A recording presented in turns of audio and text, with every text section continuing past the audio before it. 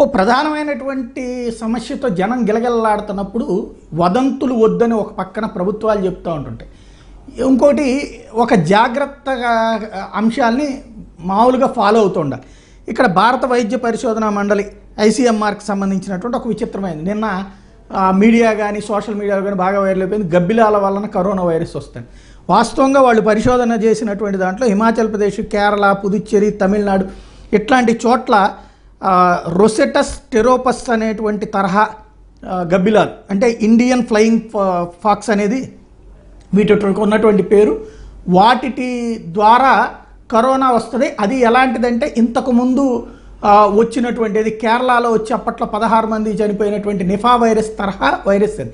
అంటే కరోనాలో మొదటి స్టేజ్. ఇంతకుముందు కూడా చెప్పుకున్నట్టు కరోనా అనేటువంటిది ఇప్పుడున్నది సె- సెవెంత్ స్టైల్ అనమాట ఇది. అంతకుముందు ఉన్నటువంటి దాని కరోనా ఎందుకు పేరు చెప్పారు అన్నది కూడా మధ్యం చెప్పుకున్నాం. శాస్త్రవేత్తలు చెప్పినటువంటిది పట్టుకుని ఒక ఆకారంలో ఉంటుంది కాబట్టి అన్నటువంటిది కఠినమైన ఆకారంలో ఉంటుంది కాబట్టి. ఆ తరహాది. వాస్తవంగా ఇప్పుడు వస్తున్నటువంటి కరోనాకి వీటికి సంబంధం లేదు. ఈవెన్ వుహాన్లో కూడా గబ్బిలాల వల్ల వచ్చింది అనేటువంటిది ప్రచారం మాత్రమే చేశారు. ప్రాక్టికల్గా అక్కడ జరిగినటువంటిది ఏంటి?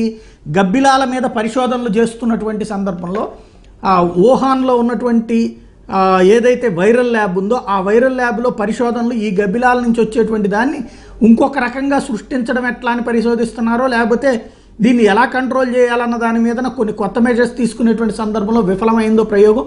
దాని ద్వారా వుహాన్లో ఉన్నటువంటి జంతువుల మార్కెట్కి వ్యాపించింది అక్కడ నుండి ప్రజలకు వ్యాపించింది ఆ ప్రజల నుండి ప్రాణాలు పెద్ద ఎత్తున కోల్పోయినటువంటి పరిస్థితి ఉంది. ఇది ఓపెన్ సీక్రెట్. దాన్ని కాస్త ట్విస్ట్ చేసుకునేటువంటి పరిస్థితులు ఇప్పుడు ఇక్కడ కరో గబ్బిలాల వల్ల కరోనా వచ్చేస్తుంది. వాస్తవంగా ఇప్పుడు ఈ కరోనాకి ఇప్పుడు ఉన్నటువంటి ఈ గబ్బిలాలకి సంబంధం లేదన్నటువంటిదే దాని మీద పరిశోధన మొత్తం చేస్తే అర్థమవుతుంది. కానీ ఇప్పుడు వస్తున్న కరోనా అంతా గబ్బిలాల వల్లే అన్నటువంటి తరహాలో ప- ప్రచారం డైవర్ట్ అయిపోయేటువంటి పరిస్థితి ఉంది. వాస్తవానికి ఇప్పుడు గబ్బిలాల వల్ల భారతదేశంలో కరోనా అయితే రాలేదు. వచ్చినటువంటిది అయితే ఇంపోర్టెడ్ అది చైనా దగ్గర నుండి ఇతర దేశాలకు వెళ్ళి అక్కడ వాళ్ళకి అంటితే వాళ్ళ ద్వారా ట్రావెల్ అయినటువంటి వాళ్ళకి అంటితే వాళ్ళు ఈ దేశంలోకి వచ్చినప్పుడు వాళ్ళకి వాళ్ళ బంధువులకు వాళ్ళతో తిరిగినటువంటి వాళ్ళకు అంటితే ఎదురైనటువంటి సమస్య కానీ గబ్బిలాల వల్ల ఇక్కడ వచ్చింది కాదన్నటువంటిది ఇక్కడ స్పష్టత ఉంది. బట్ ఈ లోపుగా ఈ స్టేట్మెంట్తో కొంత కాంట్రవర్సీ అయింది.